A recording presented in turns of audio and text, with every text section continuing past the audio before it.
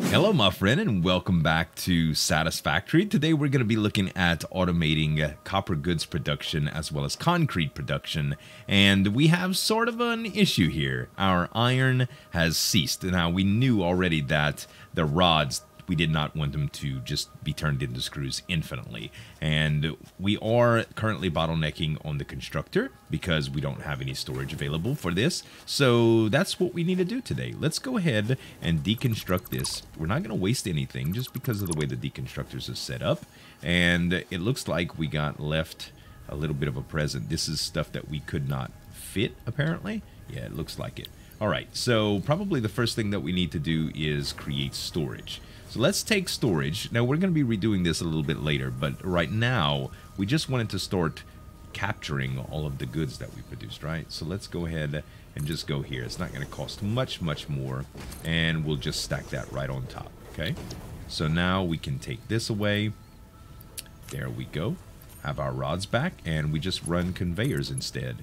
So we just took away our entire production of screws but we can manually craft screws, and when we get the splitters for conveyors, we could do some fun stuff with that. But right now, the storage containers will start to capture all of our rods as well as all of our plates, and uh, we could go from there. So, copper is a little bit of an issue. Concrete won't be so much, but you're going to see why copper is going to be a little bit of an issue as soon as I scan for it. So the copper node that we were visiting, the closest one, is there where you just saw the ping, 150 away.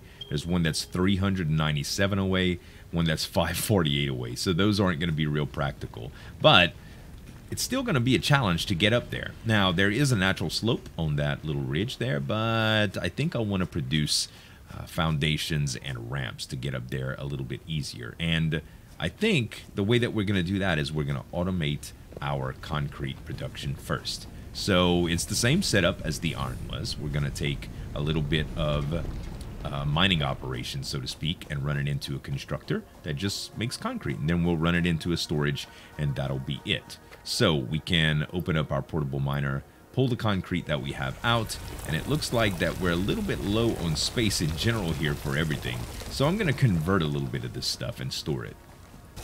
Alright, my storage is set up. Let's go ahead and pick up the miner. And we're going to go to our production tab and create a miner right on top of this bad boy. And it looks as though it does not want to plant, and probably because there's a node in the way. So when you get to a node and they have these large pure deposits, you have to take those out of the way so that it'll fit.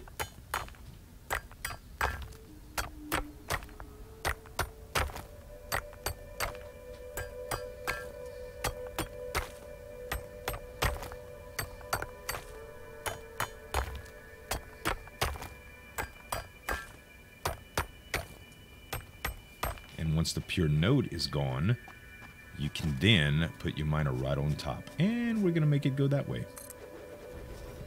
Alrighty. Next in line is going to be a constructor and then storage. So we put together a constructor. We don't need to smelt this, which is pretty good. And then we're just going to park storage right after that.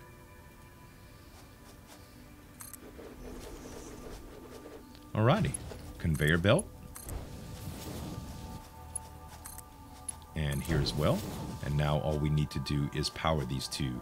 And hopefully we have enough juice to make it work.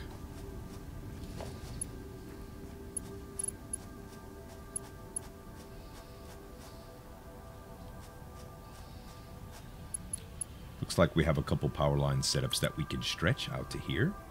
And I'm going to put this pole right here.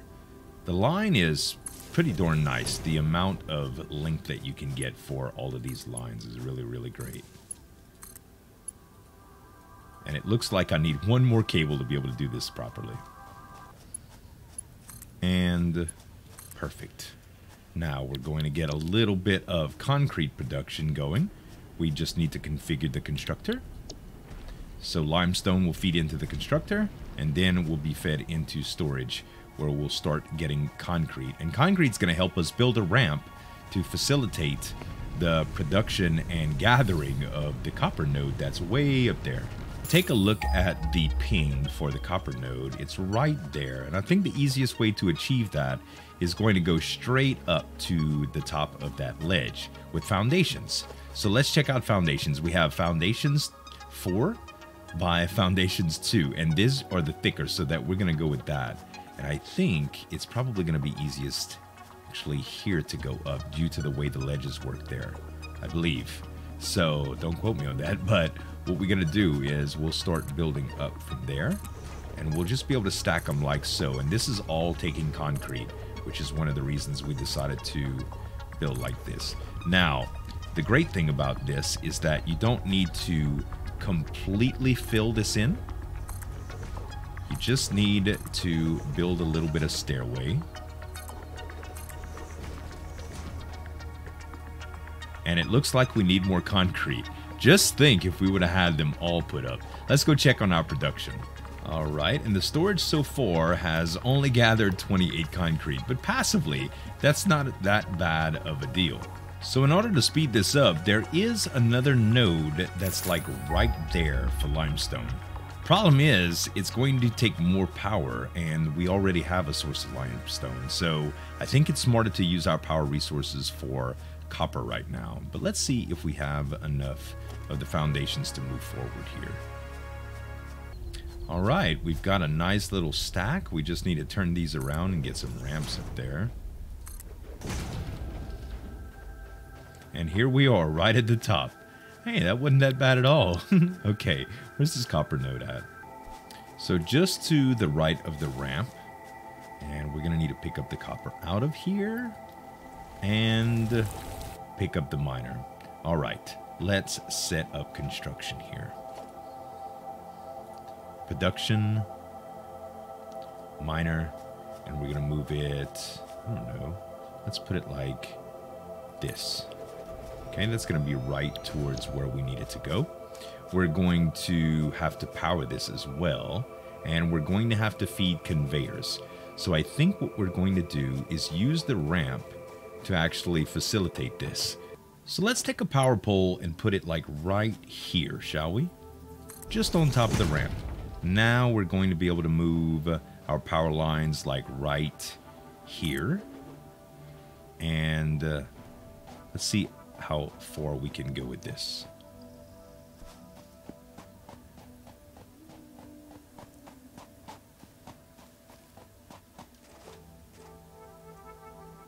And let's bridge the gap like right here. So we can connect this line. Actually, can we connect it to just that? There we go. We can. And then how about that one over there?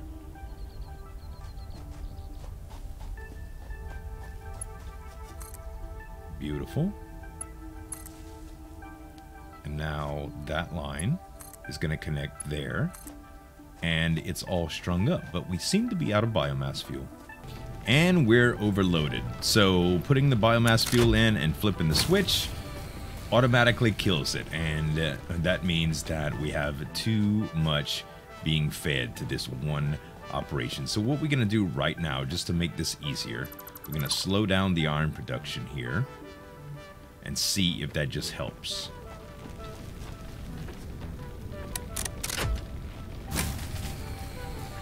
It sure doesn't. I'm to set one pole up for each three machines. There's a pole set up for that. There's a pole set up for this. There's to be a pole set up for this. Let's just go ahead and take care of this one.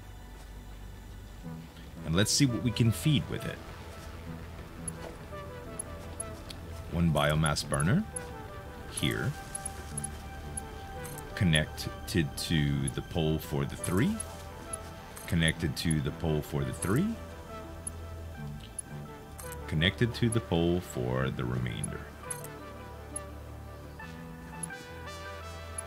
Then we connect this to the constructor, the smelter.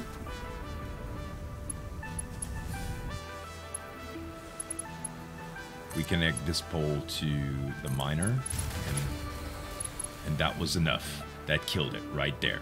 So we already know that it's more load that it can take with this current supply. So if these are the only ones connected without the actual miners, and we flip the switch, what do we get? Looks like it's going to stay fired up. Perfect. So with that being said, let's go ahead and link the biomass burner to this pole. And we have to connect the miner. The second miner. and our new network of toys. Looks as though we're currently okay. Let's add a smelter to the mix. Alright, smelter's down. And we'll connect it to power. And it doesn't look like it's shut down. Okay. Let's feed it into with a conveyor belt. It looks like we're going to be all right. Now, I don't know if it can take any more constructors, but we can funnel this all the way back there if we want constructors set up. That way, all we need to do is have the miner set up on this side. We could have brought the smelter down too, but it's fine. So let's worry about the conveyor belts now. Conveyor belt is going to have to go all the way down as well. So, let's go ahead and put it like right here. it's going to ride the edge a little bit, but that's okay. And we'll go ahead and uh, put it like this, but we're going to need some more concrete. By this time, we should have enough. But that's all that's going to be. All we have to do is move this conveyor belt all the way down, and we can set up the constructor and the storage down here. All right, so let's run our conveyor belt down now that we have our concrete. We can make it come all the way down the ramp. It looks like it's a little bit too long. There we go. Beautiful. And now we can connect this like so. Hmm, we're gonna have stuff going all over the place. Actually, I'll tell you what. Let's go ahead and kill that. Make it a little bit more streamlined around this corner here. We'll put a conveyor pole like here. And we'll jack that up, right? And now we'll have a little space to walk when we decide to come here because it'll go right over it. There we go. Kind of looks crazy, but it's all right. We can make this go right over here. This floor is too steep. Okay, how about this way? And it looks like it clips through the mountain a little bit, but that's okay too. As long as it doesn't stop production, I'm, I'm okay with it. So we got our conveyor belt in the vicinity of where we want it. Let's go ahead and add our constructor here. And our constructor is going to set down so that we can feed it to make wire. And then we're going to want another one to do cable as well. We'll split this up later to where it's making cable and wire and throwing it in storage, but right now all we need to do is add this. So let's configure this wire. And this one will be cable. Now, the cable production, we don't need a whole lot of it right now, so we're going to go ahead and turn that off, but it's set. So this sucker is going to produce wire as we go. We just need to make sure it's powered. So we already have a setup for power. We're just going to connect these and hope that the network doesn't fail. And it looks like we're pretty well set. One final step we forgot was to configure this to actually smelt the copper ingots. And that broke the network. Dang it! Let's see if taking off this last constructor will help. Let's pull one of the miners off for the moment. And the second miner off for the moment.